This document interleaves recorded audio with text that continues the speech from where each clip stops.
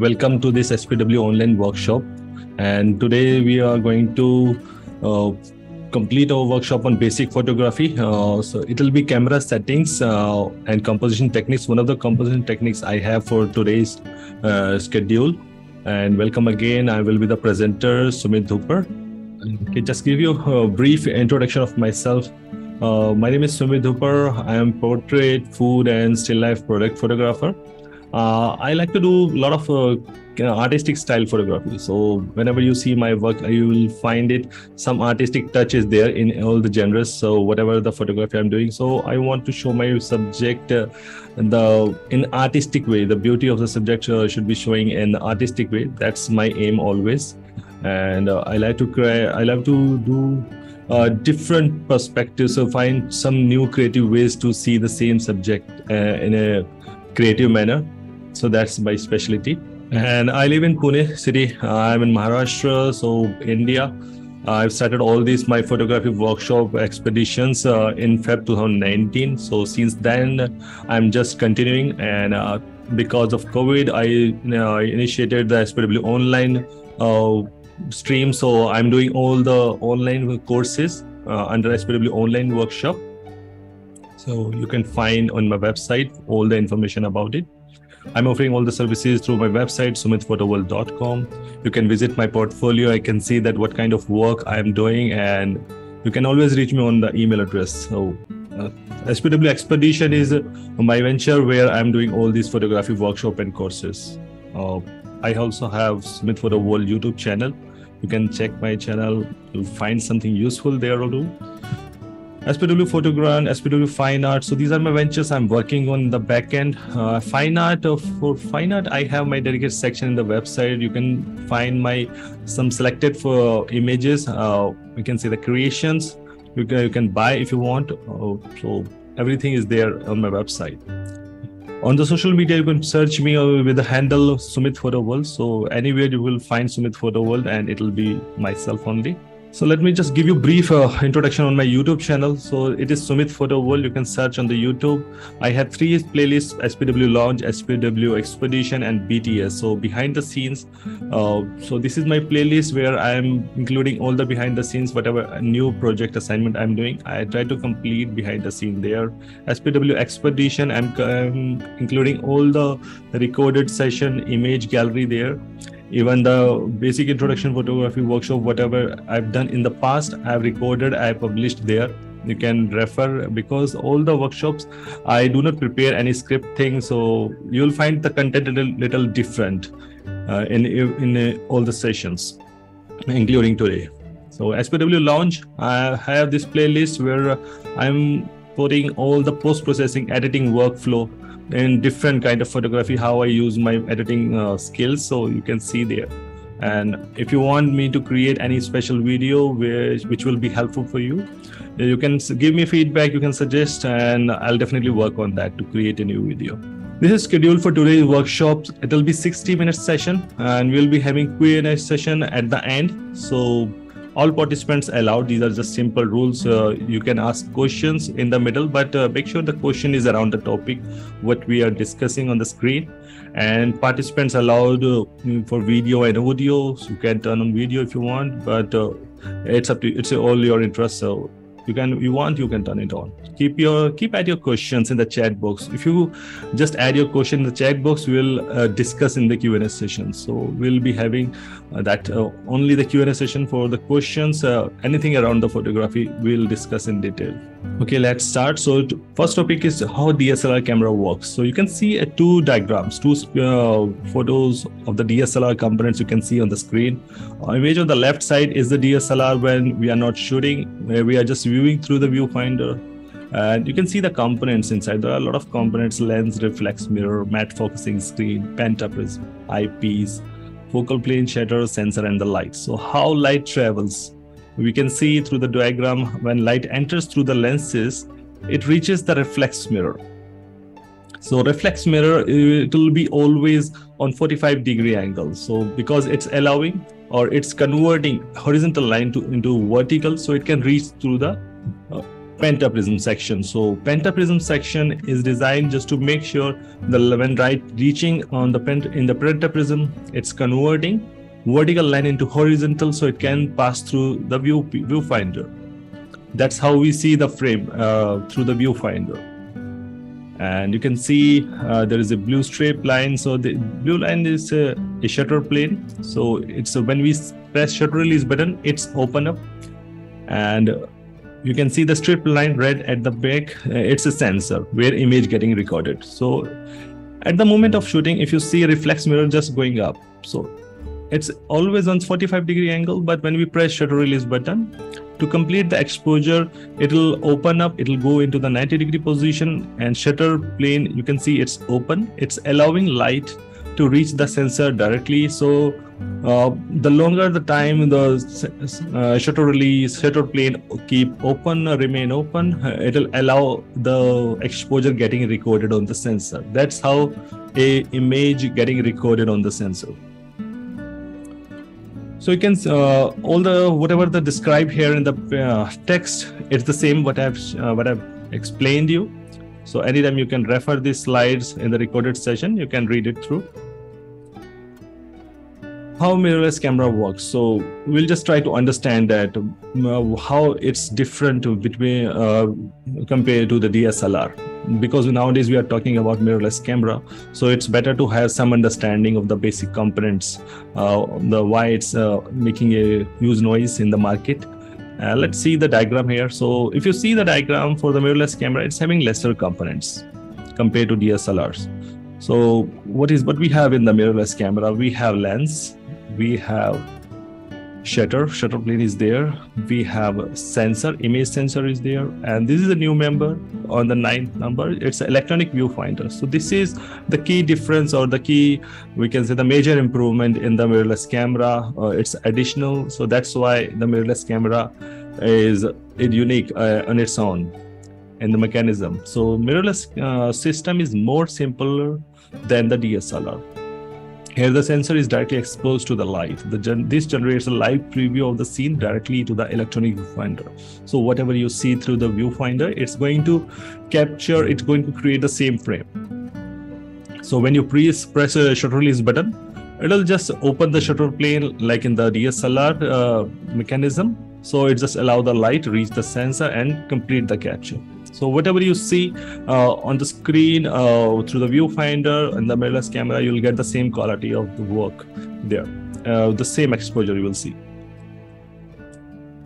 So benefits of mirrorless camera. We'll just try to understand the key benefits of mirrorless camera. It's more compact because it's having a small sensor. Uh, so camera small sensor means it needs a small body to uh, host that sensor, making the mirrorless camera easier to carry like a point-and-shoot camera. It's quite uh, easy to carry a mirrorless camera compared to DSLR. Electronic viewfinder, EVF, final image preview appears directly onto the screen, uh, onto the image sensor, offering a live view, which then displays on the rear LCD screen this image preview allows you to adjust the settings like exposure, brightness, saturation, and contrast before taking your shot. So before you even click complete the exposure, you'll click the shutter release button. You can just see that how the exposure will be. You can adjust all these settings, exposure, brightness, saturations, contrast, everything you can adjust there. And after completing shot, you'll see the same quality of work you are getting. Image stabilization, with lightweight, the camera is less prone to shaking, so image quality is sharp and clear. So it's uh, really, uh, we can say that advantage when you're carrying a lightweight body of the camera, you'll be having more control on the device while doing handheld photography. So image quality will be definitely improved. Uh, silent mechanism, fewer moving parts inside the camera also means uh, less noise. So when we have less components inside the body, you will see that it's making less noise. Uh, you can you can if you have experienced DSLR, you can experience uh, mirrorless camera, and you'll find a lot of difference in terms of noise inside the device. Higher shooting speed, so with better focusing capabilities for contrast detection and high shutter speeds, mirrorless models makes it easier for photographers to capture a faster rate. So it's a combination of both that it's a mechanism that contrast detection with high shutter speed it's uh, very easy and it's really improved the burst mode the shutter uh, the capability of capturing the images in burst it's really improved in mirrorless camera now we'll understand the key differences in both the devices. So because if we understand the key differences uh, we'll be able to take a decision that if we really want to go for mirrorless camera or not. Mirrorless cameras are more lightweight. So that's advantage in with the mirrorless camera. Mirrorless cameras offer real-time previews of exposure and contrast. So anytime if you have a device which giving you real-time preview of the images which you are going to capture it's always advantage. So that's a benefit of mirrorless camera mirrorless cameras have shorter battery life due to EVF. So this is very critical. So if you are carrying mirrorless camera, so you must have a backup battery always with you when you are when you are going to spend a whole day with the camera on the field. You must have an extra backup battery.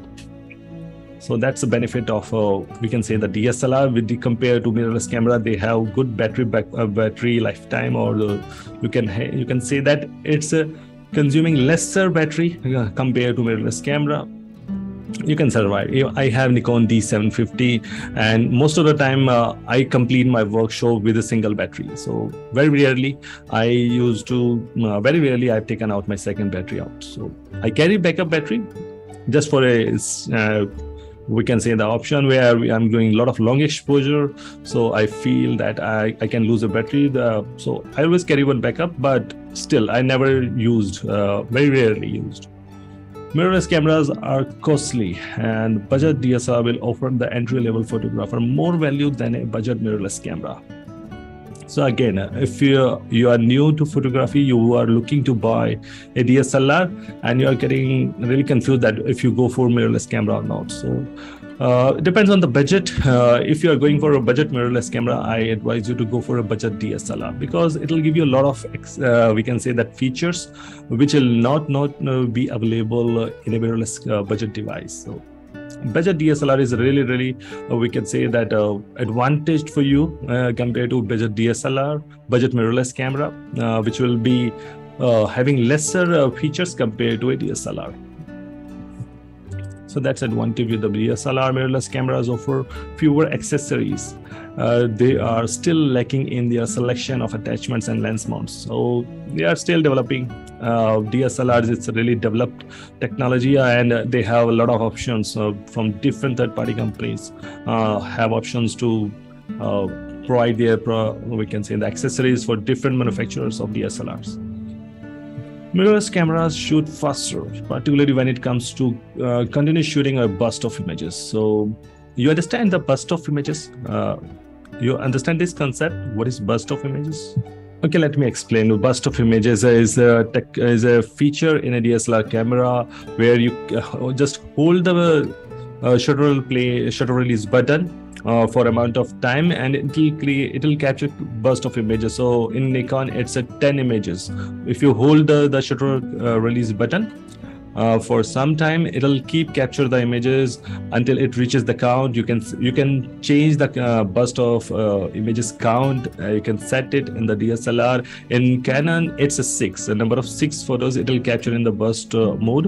And it's a really improved in mirrorless camera because of the new technology uh, probability of uh, getting detailed or the sharp images really enhanced uh, in mirrorless camera. Uh, just for example, if you are using a DSLR, uh, you can get uh, 10 photos in the burst mode, and out of 10, it'll be six or seven images you will see that coming in good detail.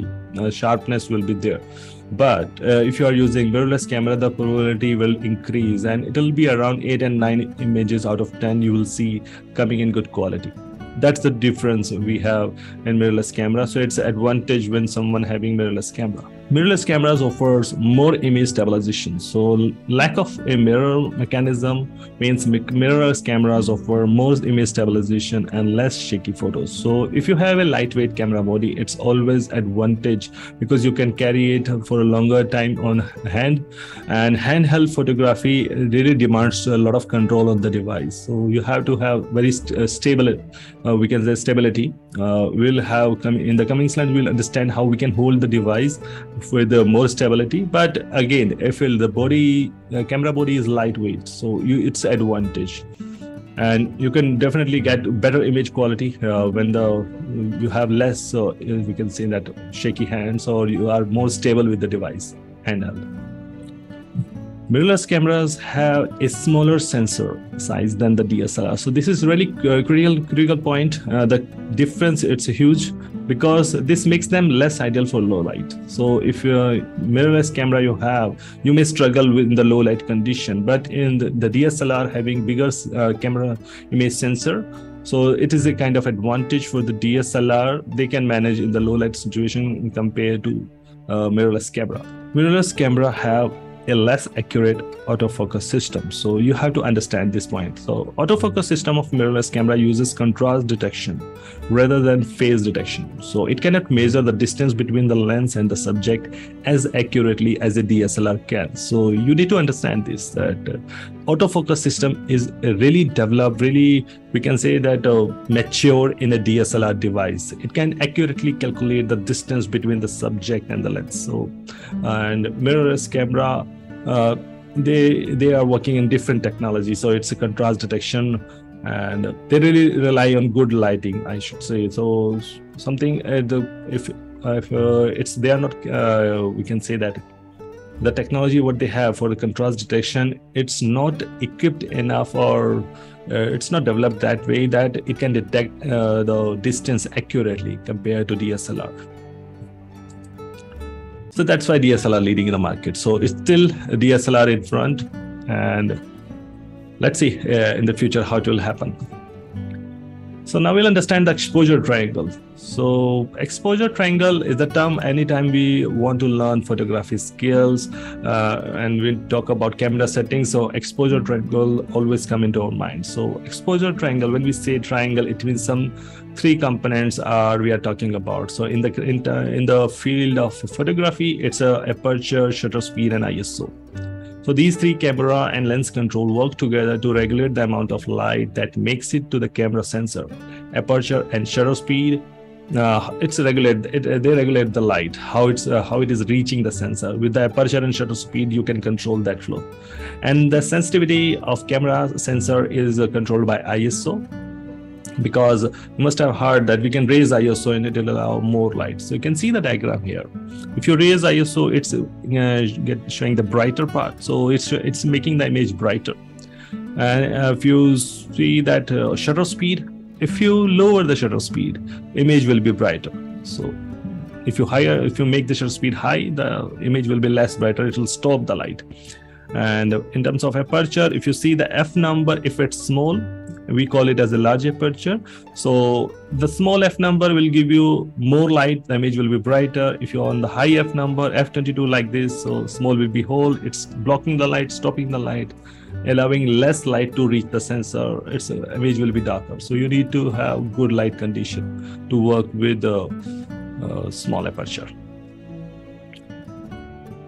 shutter speed we'll just uh, try to understand the shutter speed, def uh, definition here. Shutter speed is the length of time that the camera shutter remain open and allow light to reach the sensor. Uh, most of the photographers uh, call this as exposure time because it's a, it's exposure uh, which is uh, being calculated or being captured and the how long that exposure being captured. So we call this as exposure time. So 1 by 4000 to 1 by 2000 uh, it's a very high shutter speed. Uh, now most now we have some professional device which supports 1 by 8000 also to freeze the fast moving objects. 1 by 250 to 1 by 60 these uh, shutter speed we call as uh, for good for journal photos. Uh, even someone walking slowly gently you can capture with 1 by 250 1 by 2 to 1 by 30 consider this long exposure to capture motion blur in consistent movement. So when we say consistent movement it means uh, some uh, we can say the element or the uh, uh, we can say subject it's doing movement so like the waterfall like a wheel uh, they are doing consistent movement so you can uh, you can work within the shutter speeds 1 by 2 to 1 by 30 and you can create different creative effects. Most of the time when when i capture waterfall i'll have a shutter speed somewhere around 1 by 6 1 by 8 that works for me. But but, but uh, this all depends the light condition 2 to 4 10 seconds. So this considered to be the long exposure uh, to paint with the light. So whenever i do light painting i used to work within that shutter speed. Stars uh, capturing stars you need a high shutter speed. And fireworks uh, in firework days uh, uh, during festival you can use the long shutter speed and long exposure. And you will see the creative trail effects from the fireworks and we can also make the river water of the river like a glass. So if you are going to the river you can around the we can say the evening time when the light is almost uh, gone you can you can check the shutter speed and you will be surprised how the image will come on the long exposure. Now we'll see that just uh, example here for fast shutter speed. If you see that uh, fast shutter speed it's freezing the moment. So it uh, person walking it just freeze that moment. Uh, everything look quite static. On slow shutter speed it's uh, just blurring the motion. So anything in motion will be blurred. Uh, shutter speed a control uh, button on the camera uh, it'll be uh, it, it is from nikon. So you can see the button like this. And when we have on s it's a shutter priority mode uh, shutter speed values would be somewhere between 30 seconds. Uh, you can see the single digit, it's 30 seconds to 1 by 4000. So, but some devices supports 1 by 8000 also. But whenever we do a change from one to others, uh, we can say that step or the shutter speed we call this as a one step change. So anything one step uh, if you are increasing shutter speed one step it'll we can say half the amount of light coming to the sensor. If you are going below if you are uh, we can say reducing the shutter speed going to the long exposure uh, it'll double the amount of light coming to the sensor. So that's how it works. That's the concept. Handheld shutter speed. So the rule of thumb states that when shooting handheld use shutter speeds equal or faster than the one divided by your focal length. So whatever the focal length of lens you are using, uh, you can you can calculate the, what would be the handheld shutter speed. Like for 300 mm, it'll be one by 300, but there is no shutter speed of 300. It'll be one by 320. So that is uh, something where you don't have VR vibration reduction or image stabilization feature is not there. But if you have a stabilization vibration reduction uh, feature available in the camera in the lens then you may have you may have the option to go even lower one or two stop lower shutter speed and you can still manage with the handheld. But just for example for 50 mm it will be 1 by 50 but there is no shutter speed of 1 by 50 so we have to we have something equal or faster. So 1 by 60 shutter, speed will will go for but i'm just uh, reminding you it's a, a, shutter speed we need without vr function without vibration reduction and image stabilization but if you have image stabilization, you can uh, manage with the even lower shutter speed. Yeah. Uh, yeah. Uh, how do I know what focal length I am using? Is it same as the aperture? Focal like length. Focal length uh, is uh, written on the lens. Right. It's okay. If you can you see this? There is a there are some numbers on the lens. Yeah. 18 to 55 is the numbers I have. So, so these are focal length only. 18 to 55 is the focal length. Right. So whenever I zoom in or zoom out, I guess the number changes from yes, yes. So at any point that, of time, what would be my focal so, length? What, what if you, you are in the middle you need to see what is the focal length uh, you can capture image you can see the overview data in the image and you will see the what was the focal length it was in the image okay for the accurate focal length calculation but uh, you can uh, always assume that if you are having 18 to 55 you can be on always 1 by 60 shutter speed you need, you no need to worry about so anytime you will be on the highest shutter speed okay okay got it i think i got yeah. it. Okay, uh, so this is DL, DSLR handheld techniques. So you can see the images here. These are the examples that how we should hold the DSLR device. So the knee bend technique, it means we are uh, using our knee as a platform to hold the DSLR device. And we need something to make our, uh, we can say posture more stable. So when we have stable posture, there will be less prone, uh, that will be less prone to shake and we have more probability to get sharp images uh, the elbow plant again it's the concept we are planting our elbow on some hard surface any object you find which is uh, giving you opportunity to plant the elbow you can use that for that technique the t-rex is the traditional method of holding so just for example if uh, I'm holding the camera like this on my hand. So I should make my left hand as a platform to hold it. I can make my front finger and the thumb free so I can move the focusing ring. If you are working with manual focus, uh, you can use you can use the front finger and thumb to uh, move the focusing ring. This is a, a traditional method of holding, but you have to make sure that your elbow is always stick to your body. So the more stick, the more near to the body, it will be more stability you will have and uh, strap it's something new so we can uh, if you have a strap on your device you can just wear it. And if you stretch it it'll create some tension on the strap. It'll make sure it'll be less shaky. So these are the techniques you can use how you can utilize and you will see that uh, your photography will definitely improve. Now we'll talk about aperture. So definition is of a of the aperture is the, the aperture f-stop controls the amount of light reaching the sensor through the lens. So it's a sometimes we see this as the eye of the lens. The aperture size will regulate the depth of field. So just for example, uh, if you are working with low aperture like f1.4 arrow, something around like 1.8 also, it'll create a bokeh effect and good for low light. Bokeh effect it's something when some lights behind uh, in the background they are creating round circles. We call that as a bokeh. So in low light good uh, low light condition when there are some uh, artificial lights in the background and they'll be give, they'll give more effect compared to some natural lights you can get it. In the natural environment too depends how the background have shiny objects behind. And uh, f2.2 to f5.6 so it's good for portrait photography and sports photography. So they consider to have enough depth of field.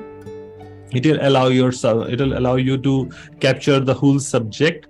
And even on the portrait it'll make sure that your portrait face is in good focus. So for just for thumb roll for portrait uh, we advise to have uh, f5.6 so f5.6 anyhow on the almost on every lens it will make sure that you will have minimum six inches of uh, depth of field. So it will make sure if you're focusing on the eye so anytime you are taking photo of a living subject, we should take a focus from the eye. It will make sure something in front, uh, uh, having in good focus like nose, and something behind like ear should uh, it will be in good focus. So that's how we make sure that portrait is coming good.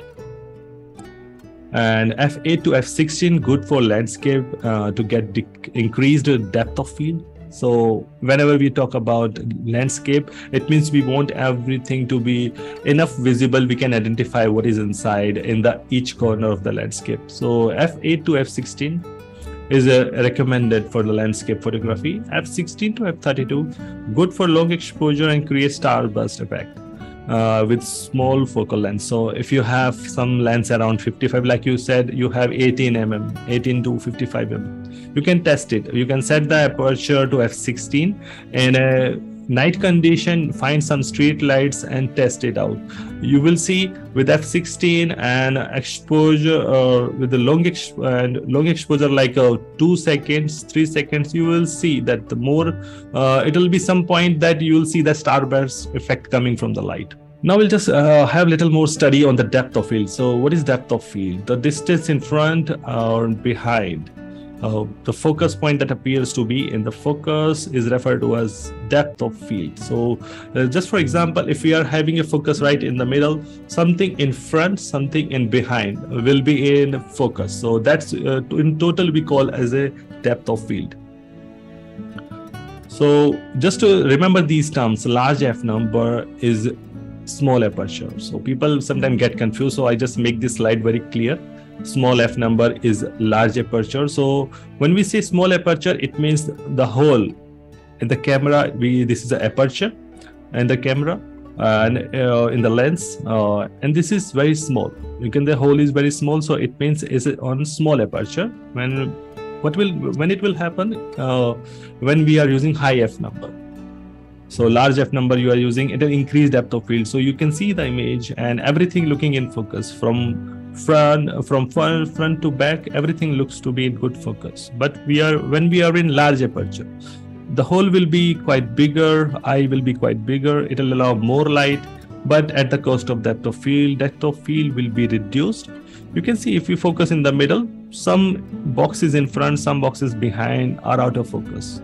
Sometimes we use this as for creative purpose just to make more artistic image but this is how we should uh, uh, we should be aware that that what we are trying to achieve with the aperture.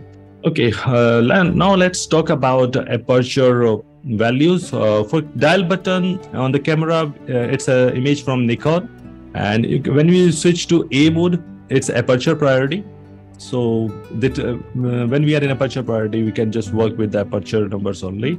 So aperture numbers will be uh, like this as low as 1.4 as high as f32 so we can categorize these numbers in different uh, we can say the category of aperture. Like when we are f 1.4 it's very large aperture. When we are at f uh, 2.8 it's considered to be large and when we are in the middle, somewhere around f5.6, it's considered to be medium aperture. f11, we call this as a small aperture. f22 is really very, very, very small aperture. f32. But again, whenever we are change, making any change in the setting in the aperture, we call this change as one step so as we discussed in the shutter speed, the same way aperture, if you are increasing shutter speed by one step, we are changing from 1.5.6 to f8. It means it's a half, it's making this light half, which is reaching the sensor, stopping the light. But when we are reducing the f number, it'll allow double amount of light reaching the sensor. So it increase the brightness on, on your image. So whenever you are struggling with the image, either you can lower the shutter speed or you can uh, lower the f number.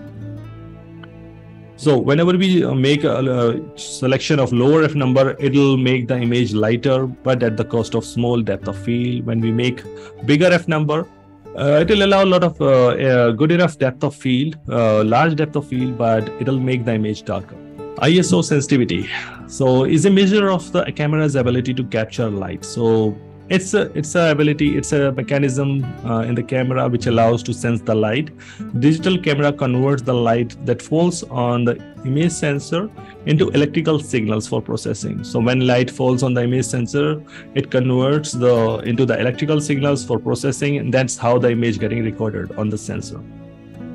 Iso sensitivity is raised by amplifying the signal in other words if iso sensitivity is raised from 100 to 200 uh, if you don't change the aperture you will see that you are getting double shutter speed. So so that's how you can take benefit of iso so when you are struggling with the shutter speed you can raise the iso and see that shutter speed getting improved.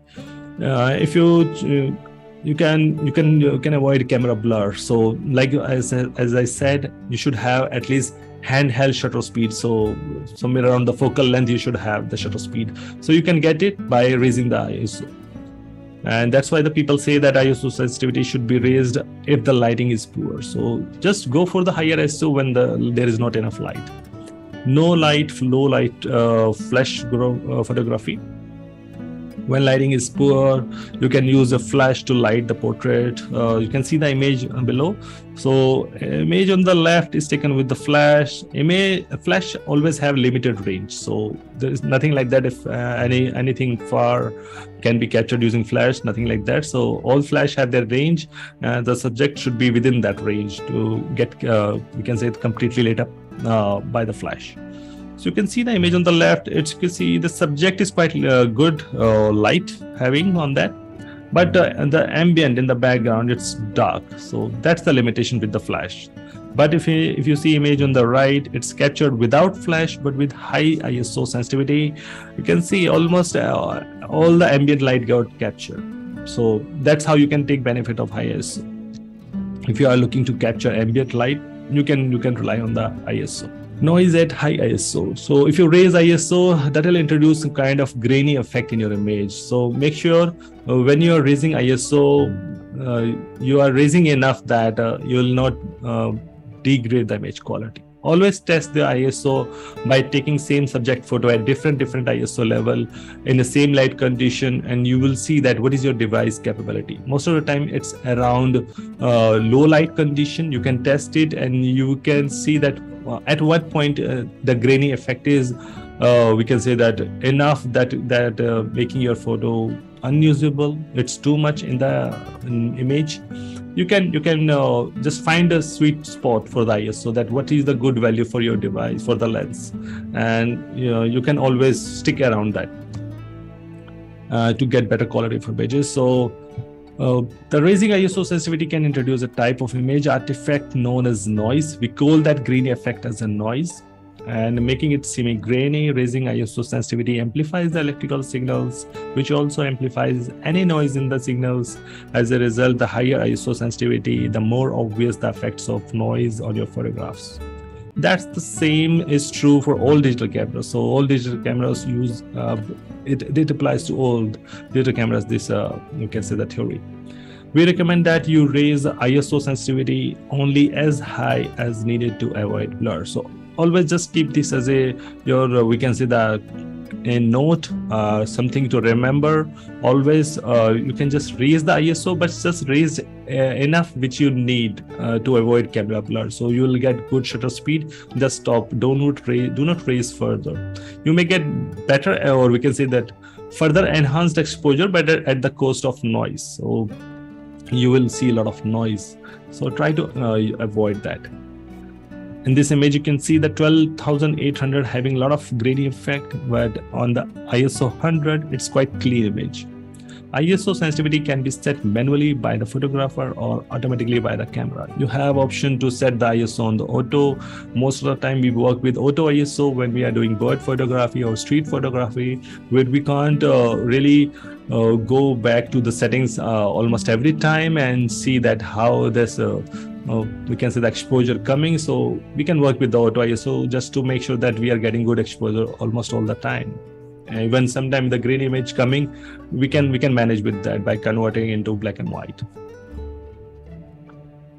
Now we'll just see the camera simulator. So we have understood the uh, three aspects or the components of exposure triangle. Now we'll just try to do in a practical kind of so you can do the same uh, on your device let's do this on the uh, this website. This is a simulator website where we have option of uh, uh, testing all these modes uh, shooting modes shutter priority aperture priority and manual. So if you see that we are in the shutter priority mode and the only settings we can change is shutter speed. This is the component we can change here. So if you see whenever i'm changing the shutter speed it's adjusting the aperture it's not doing any change in the ISO. It's just adjusting the aperture.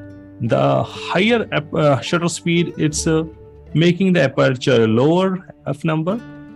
But if I raise the ISO, you can see the effect on the aperture.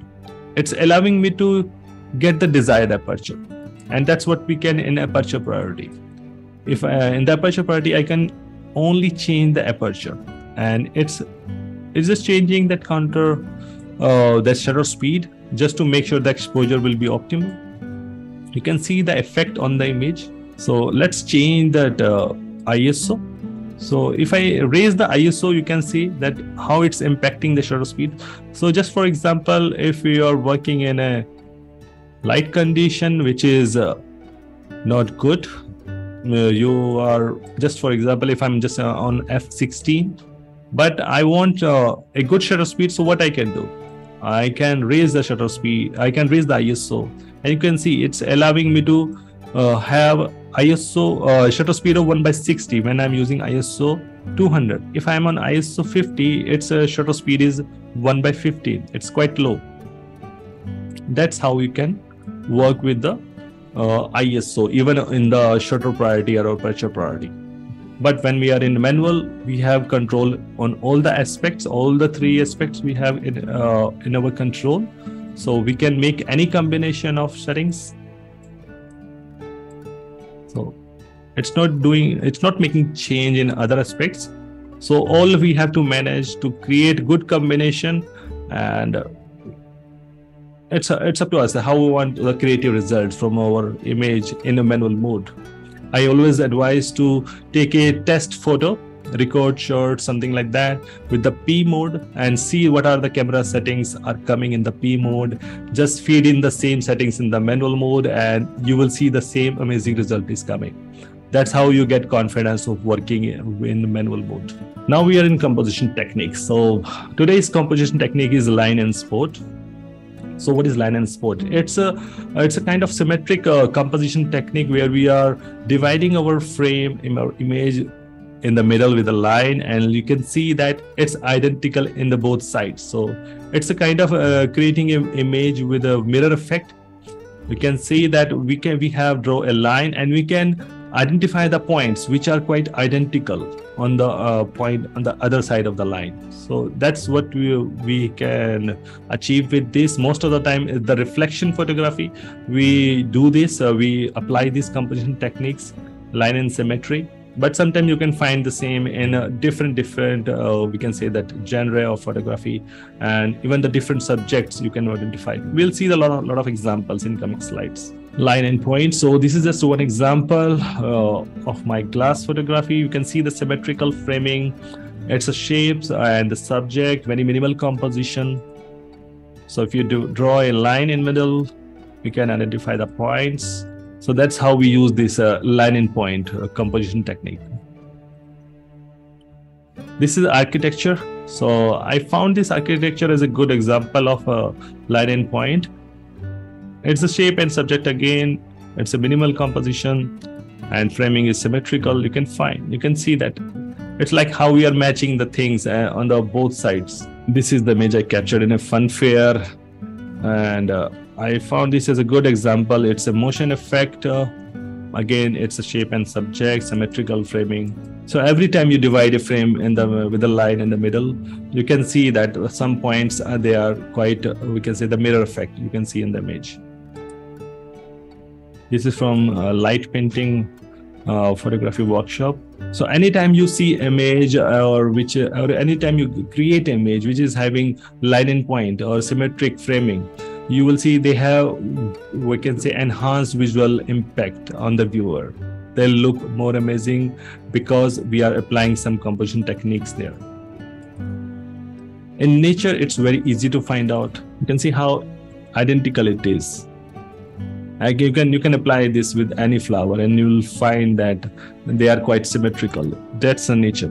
I captured this during my nature photography workshop and it was really unique and uh, it was really perfect example of symmetrical how that leaf having pointers around it. And you can count it. So four there four here and it's just a perfect example of symmetrical. That's it what we have. So i'm just i'm having my special photo work and online course so in the month of april uh, if you are in pune you like to join me you can join my outdoor session. It's on 8th april and i have the same basic photography introduction workshop. If you if you think that you can work on yourself you can have some question to be discussed in the next session. You can just uh, do some practice and all i prepare some questions for the next workshop. You can join again. So it's a free entry for both and anytime you can join i have my session one for the morning one for the evening. So which time suits you you can join that. So you can take benefit of it. Outdoor photography workshop. I'm doing outdoor photography workshop on birds uh, street and nature. So they are already scheduled. For the coming week i have birds photography workshop on 18th march. On 25th i have street photography workshop. On 15th i have 15th april i have nature photography workshop. So all are scheduled uh, and you can find the registration link uh, on my website. You can register there under workshops. I, I designed a special online workshop. So it's a kind of a dreaming content what I've done so it's a four hour workshop all about photography. So the aim for this workshop is just to make sure even the beginners if they have camera bought yesterday they can join. And or if someone is looking to uh, find the right way in the photography field and it's having enough information it'll let you know that which device which equipment you should buy to develop your skills and uh, what could be the genre of photography you want to pursue and which lens is good for which kind of photography. All kind of these questions are covered. You can just refer the details in the uh, registration link. And i have given all i've mentioned all the points what i'm going to discuss. Uh, covering the portrait i cover i'm covering the landscape. So almost all kind of uh, topics i've included how the we can how we can control the light and all in the studio in the natural so everything i covered there. So if you like to join you want to develop your skills in the photography it's perfect for beginners and above. Again i have two sessions one for the morning one for the evening. So which time suits you you can join in. Depends on your location. If you're in a country where the time suits you for the evening you can join in or else you can join in the morning session photo editing online workshop. I have photo editing online workshop for lightroom and photoshop. These are the tools i'm using for my workflow for post production production. And uh, these are really the tools which helps me to give a final touch on my images. So again it's a four hour workshop uh, for both uh, it's on 26th of March. You can join in. Well, for Lightroom, it's morning session. For Photoshop, it's evening session. Again, it's a beginners and above, so no need to think about that. If you are really having skills to use those uh, softwares, anyone can. Uh, start from the day one i have a link to download the trial softwares from the uh, registration link uh, there is there is a link to download trial softwares you can download you can use it for free for limited amount of uh, limited period of time and you can take a benefit of and you'll see that how it's helping you to improve the quality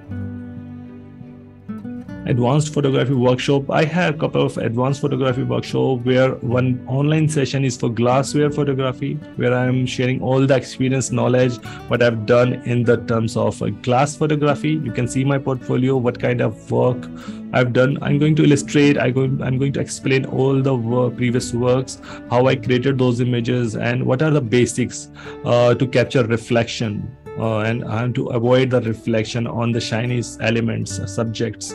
So we'll learn all that. It's a four-hour workshop on 16th April. It'll be online session. Again, beginners and above can join for light painting photography. It's on may 20th so previously i've done that workshop on Betal Tikri in pune and i really i was really uh, amazed the results what i got at that location. It's perfect for light painting. And again beginners and above can join. No need to have any previous experience uh, for similar kind of photography portfolio building events. I am having two portfolio building events right now. The one for portrait i'm still working on the content. So soon it will be published uh, but uh, for product and for food photography i have these workshop for 29th and 30th april. So aim for these workshop is just to give you enough images you can build your portfolio on the uh, product or food photography. So uh, i'm going to give you uh, opportunity to create images professional like photos from these workshops. Uh, this will be full day workshop uh, in a photo studio setup. It'll be in pune. So if you have uh, any any question any concern any point which you want to discuss you can directly contact me and uh, we can we can really work it out. So whatever the points you have we can work it out now, thank you so much for your participation. Now we are in the Q&A session. Uh, you can always send me queries on my email address info at sumitphotoworld.com. I'm going to stop the screen share and I'll be available here for your questions. So uh, if you have questions prepared, we can discuss. And I'll just stop this uh, session only when uh, you say that you have no questions and everything will be good. I'll also share the feedback uh, link. Your name. Uh, could you could you could you type in your name in the chat and the question? So it'll good for me so because i have to prepare some presentation kind of for all these questions. So it'll help someone else referring those. Okay how's the legal the scenes uh, recording street photography? Yeah that's that's the aim of my street photography workshop. I'll give you enough knowledge enough background that you'll be comfortable with your camera on the street even i was having online workshop also uh, for the street photography where it was only for the content and uh, if you want i can can re- reintroduce that session for street photography. But in outdoor street photography workshop i start my workshop with the camera settings with all these uh, general questions on street photography. Because when people coming for the first time they also get uh, quite uh, uh, feel awkward feel scary that how it will be. But uh, my main aim is that i'll make you comfortable with your camera in your hand and i'll tell you how we approach the subject how we'll find find the scene, how we'll capture, how we'll create our compositions, all things I covered during the workshop. So it's a five hours workshop. I'll make sure you will you will be more than confident uh, when you leave that workshop. You you will be enough confident. You can just ask your friend to join you, and you can come anytime on the street with the camera. There are some yeah. More than the confidence part, like uh, isn't it a violation of privacy if you are taking pictures and people? Are... There are so there are some rules like uh, anything on the street is in the boundary of uh, uh, not within the privacy. If someone need privacy, they need to be in their own compound. So anything on the street, it's very much legal. You can capture, but you have to be on the street. It's not like that. Uh, you are on the street and uh, you are capturing someone inside their compound, somewhere like uh, someone in the hotel room. If they are on the window, you can capture them from the street and it's totally legal but if you are putting you, you are using some ways to uh, take a photo inside the hotel room so okay. that's uh, some kind of you are uh, breaching the privacy anything on the from the street while standing on the street the view uh, you can capture that's totally legal what mode do you recommend for beginner uh, coming from auto mode? Shutter priority or versus aperture priority? Yeah, again, so it's our uh, need for the photo. So if your priority is shutter speed, so it means you need to have a shutter speed. You can't come, you can't compromise on that. Then we'll, that's why we say this as a shutter priority. When we say priority, it means we are having priority on the shutter speed. We can't compromise we can compromise on aperture but we, but we can't compromise on shutter speed. That's a shutter priority. And when you want aperture to be we can say that you have decided that you are not going to change aperture that will be aperture priority. So you'll set the aperture. You can manage with the shutter speed. You can take a help from iso you can raise iso to get better shutter speed. But again when you are in aperture priority in good light condition you don't need to worry about shutter speed. So you will always get good high shutter speed when you are in good light condition. But when you are in low light condition you may struggle. You may see that when you are in aperture priority in low light condition shutter speed is going really low. You can take a help from tripod or you have to have some uh, ISO help to raise the shutter speed. So that's it. So uh, it's up to you that how you want. But uh, I always recommend to take a record shot with the P mode. Whenever you are going out in any light condition, take a shot of P mode. P mode is something it is creating a, a combination of shutter speed and aperture.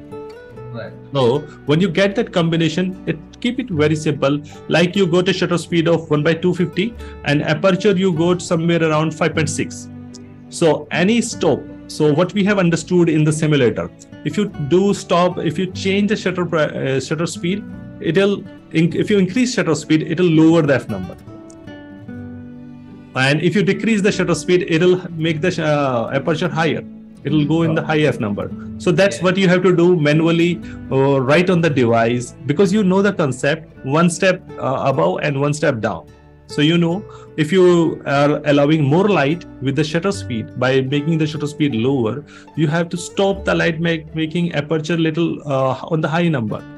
So that's how you make the combinations. And it's quite funny it's quite enjoyable experience when you do it first time and you will be amazed at how the results are coming kind of sad about the results that are coming. Yeah, so, but because you you don't know there's the the small uh, bit of information missing. We struggle. We get uh, sometimes really irritated, frustrated, and we just miss the basics. That's what happened actually. I, I understood. I was asking this question because uh, auto mode, obviously, or the P mode is the easiest to go with for a beginner because there's nothing to do. Yeah, so but I, assumed uh, that one of these modes, like a shutter priority or aperture, might be the easier out of the two. And yes, yes, P mode is something where we most of the time use P mode to create, capture, record shots to assess the light, how the light it is. Shutter priority we are going. It means you are serious enough to create a shot. We, have, we are serious enough to create a frame. Then we go to shutter priority or aperture priority. But in P mode, you don't have any control. It's a camera deciding what is the better combination but camera don't know better combination. Only photographer knows what would be the right combination. Yeah thank you. I, I do not yeah. which would be the best camera for beginners? So for best camera for beginners it all depends on your budget. It's a question uh, from Kaushal. Uh, Kaushal, there is no concept of best camera for beginners. Uh, entry level camera, we say that entry level camera it's uh, it's all depend on your budget that if you have a budget for entry level camera you can you can find different different reviews compare that features what uh, each devices have. So i never make things complicated i make things easy. Just find out what are the devices in your budget and compare their features. Even with the different manufacturers if you are in, if you don't have any priority for a specific manufacturer you can compare the entry level device from different manufacturers check their features what they have and you can decide for one of them. But uh, there is no concept of something like that best camera for beginners. Entry level camera we have because they are designed for beginners. Uh, that's why we call them entry level devices so as per your budget you can decide you can check different uh, we can say that youtube tutorials available for different comparing devices the features you can know better. And based on that you can devise the most the better feature you will see uh, like uh, controlling iso and all. So if you see that device is supporting enough feature and the same budget you can decide for that. Okay he also got the answer. That's cool okay if uh, there is no question and if you still find some questions later on you can always send me email on my email address info at sumitphotoworld.com i'm waiting for your feedback. If you want me to uh, do some changes in the content or you have some special suggestion or what you feel about this session because uh, this is kind of introduction session. Uh, i'm not covering all the things because uh, for that i have my dedicated uh, workshop all about photography where i'm covering end to end all about photography. But this is uh, just having enough information it will make you uh, comfortable with the camera settings. That's the aim of this online session. I hope i'm achieving and if you feel more confident after this session then i'll feel good about it Okay, I just wait for one more minute. If there is no question, we'll just conclude the session for today. And I really thank you so much for joining. And I, I hope uh, I was clear enough. I my information was useful enough, and you'll be having more fun time with the camera in the future.